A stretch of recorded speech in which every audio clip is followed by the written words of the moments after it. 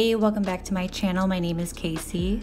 This video is part two of my sigil inspired the Languid Chestnut Toad eyeshadow palette. If you missed part one, I'll have it linked in the description box below. That video is more informational, talking about the brand and what they have to offer, as well as the inspiration behind this eyeshadow palette. I also did live swatches of the palette in the other video.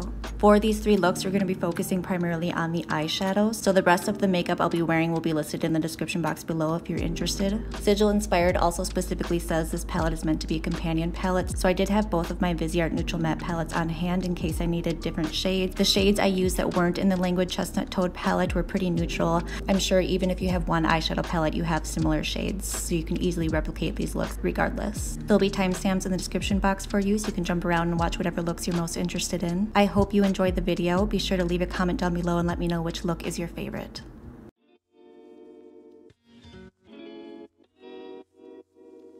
I've already applied my Milani eyeshadow primer, so I'm just going to set it with the white matte shade in my Viseart Neutral Matte eyeshadow palette. You don't have to do this. I think just having a primed blank canvas gets my creative flow going, so skip this step if you'd like.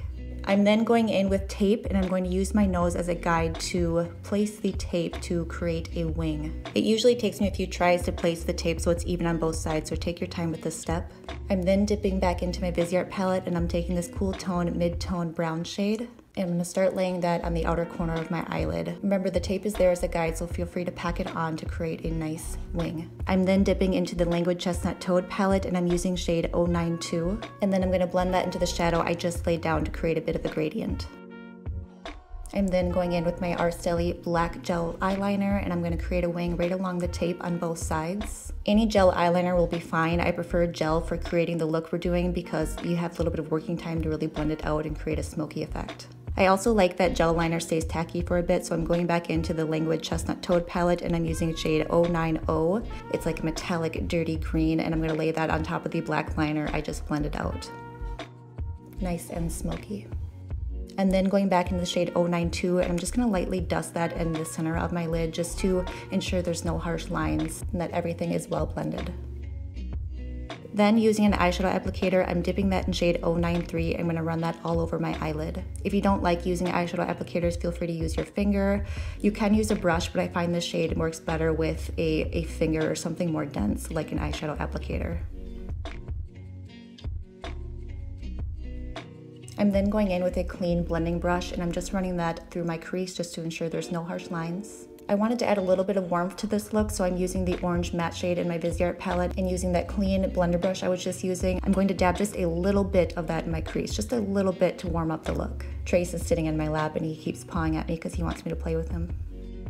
Time for mascara. Since I want this look to be dramatic, I am going to be using my Lancome Lash Primer and my Lancome Monsieur Big Mascara. Next, I'm going in with my Maybelline Eye Studio Gel Liner and I'm just going to line my upper waterline. I'm not often particular about the types of brushes I use, which is why I don't often mention my brushes, but for this specific liner technique, I like using my Morphe M508 brush. It's just the perfect size and shape for lining your waterline with gel liner. Next, I'm gonna take the tape off for the great reveal. I'm gonna start by dusting off as much loose powder as I can, and then I'm going in with concealer as I normally would, but I'm also going to bring it close to that wing and really shape and define that outer wing with my concealer brush. Since my lid look is pretty dark and vampy, I want my lower lash line to be bright and open, so I'm going back into my Viseart palette with a cream matte shade. I'm gonna dust that along my lower lash line.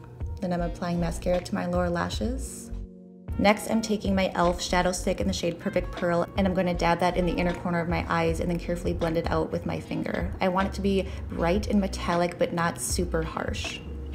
I'm then dipping back into the Languid Chestnut Toad palette into the shade 095 and using a very fluffy pencil brush, I'm just gonna dab that shade on top of the shadow stick I just laid down. And again, I don't want it to be very harsh. I want it to be a subtle, bright metallic, so I'm really spending some time to blend it out and buff it all over in the inner corner of my eye, even into that little nook between the nose bridge and the inner corner of the eye. I'm then going back in with a fluffy blender brush just to ensure there's no harsh lines throughout my crease. The shade 093 all over my lid isn't quite as bright and metallic as I'm wanting, so I'm going in with my NYX Pigment Primer and I'm going to lay that down on the center of my lid. And then with my eyeshadow applicator again, I'm going back in with the shade 093 and putting that on top. That really made the shade pop and that shift so much more vibrant. Next, I'm taking my NYX Epic Ink Liner in the shade Black and really defining the wing. And we have the completed look.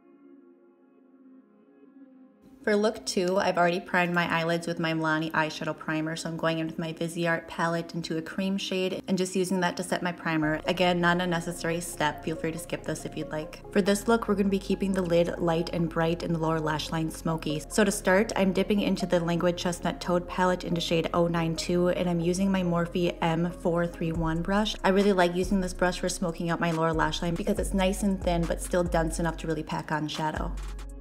I'm only going to pack on shadow on the outer half of my lower lash line.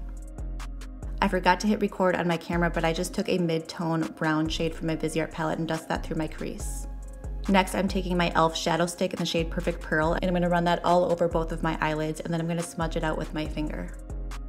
I'm then taking the shade 095 from the Languid Chestnut Toad palette and using an eyeshadow applicator, I'm going to run that all over the shadow stick I just laid down. The shadow stick is acting like a tacky primer, but I also like that it has that pearl metallic reflect that's really going to add to the overall vibrancy of the shadow. I'm then running my blender brush through my creases to ensure everything's well blended. Next, it's time for mascara. I'm going into my Lancome Monsieur Big mascara yet again. I'm then taking my Araceli black gel liner and I'm going to lower my lower lash line, just the outer third, and then using my pinky, I'm carefully blending it out because I want it to be dark and smoky, not harsh. I'm then carefully winging out to my lower lash line. Just like a regular wing, but instead of having it attached to the upper lash line, I'm winging it out from the lower lash line. It doesn't have to be perfect and precise because we're going to be smoking it out and cleaning it up as we go on. I'm then going back into the Languid Chestnut Toad palette in shade 092, and with my e.l.f. smudge brush, I'm gently tapping that onto the liner I just laid down. Next, I'm taking my Maybelline Eye Studio Gel Liner in black and lining my upper lash line. And then rather than dipping back into the pot, I'm using whatever's left over on my brush and gently lining my lower lash line. I'm just barely kissing my lash line here, but I wanted to add just a little bit more depth. Next, I'm going in with my Ofra bronzer and running that through my crease because I wanted to warm up the look a little bit, but I wanted to keep it natural, so I thought my bronzer would be best for this. Next, I'm taking the shade 095 and with a dense fluffy pencil brush, I'm going to dust that on my inner corner and again in that little nook between the nose bridge and the inner corner of the eye. I'm really spending time blending this in because I want it to be very reflective, very light, very airy, very ethereal looking, not harsh.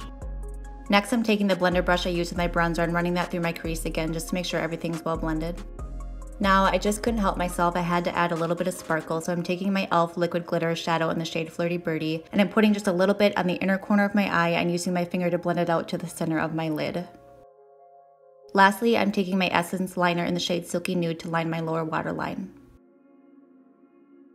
After a little bronzer, highlight, and lip gloss, we have the completed look.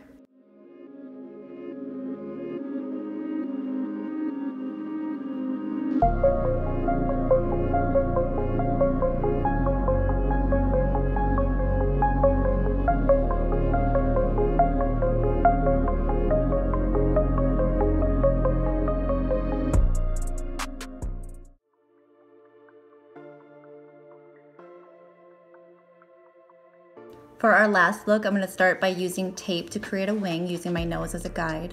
Again, it usually takes me a few times to get the tape even on both sides, so take your time with this. Next, I'm going in with my Over Matte Bronzer and running that through my crease. I'm then going into the Languid Chestnut Toad palette in shade 094 and laying that all over my crease and on the outer corner of my eye. Really make sure you pack it on over the tape so that you create a nice wing. Next, I'm going in with my Nabla Cupid Zero eyeliner in shade number seven. It's a red brown liner. I'm gonna run that along the edge of the tape to create a wing and then I'm going to blend it out with a pencil brush. I love these eyeliners. They're so creamy and so easy to work with. I noticed as I was doing this, it was making the eyeshadow kind of patchy. This happens sometimes with certain eyeshadow formulas. So to clean it up, I just went back in with my blender brush with the shade 094 and patted that on top, and that evened everything out. Next, I'm going in with my e.l.f. eyeshadow stick in the shade Perfect Pearl, and I'm going to tap that on the inner corner of my eye and then carefully blend it out with my pinky finger. Again, the shadow stick is acting like a tacky base, but I like that it's going to add a metallic sheen underneath the shadow we're going to lay on top. Then with a fluffy pencil brush, I'm going in the shade 091, this metallic green sheen shadow, and I'm gonna lay that right on top of the shadow stick I just laid down. Next, it's time for mascara. Since I tried to keep the rest of my makeup the same for all three of these looks, I'm going in with my Lancome Lash Primer and the Monsieur Big Mascara. Now it's time to pull the tape off for the great reveal. This is my first time using the palette, and for as pigmented as the shadows are, I was surprised by how little fallout I had. As you can see, there's not much fallout on my cheeks when I take the tape off. I'm going back in with my Nabla Cupid Zero liner I'm going to line the lower third of my lower lash line and carefully blend it out with my pinky. Next, I'm going to line my upper waterline with my Maybelline Eye Studio Gel Liner and I'm to put a little bit of mascara on my lower lashes. Then I'm going in with concealer as I normally would, paying extra special attention to really defining the wing. Next, I'm going in with my NYX Epic Ink Liner in the shade Black and I'm to create a wing, just lining the outer third of my upper lash line. I really wanted that green to pop a little bit more, so I dipped a Q-tip in the shade 091, and I'm using that to really pack in shadow in my inner corners. Then to make the gradient in the center of my lids really pop, I patted my finger in the shade 091 and I'm lightly tapping that right in the center of my lids. I felt like the look was missing something, so I decided to take my Nabla Cupid's Arrow liner again and line my lower waterline. Since this shade is so warm, almost a red brown liner, I was worried I was going to ruin the entire look with this, but I think it's exactly what it needed. It really added that vampy smoky edge I was looking for. Next, I'm taking a clean flat shader brush and running that along my lower lash line just to make sure everything's well blended. And after a little bronzer, highlighter, and a lip, we have the completed look.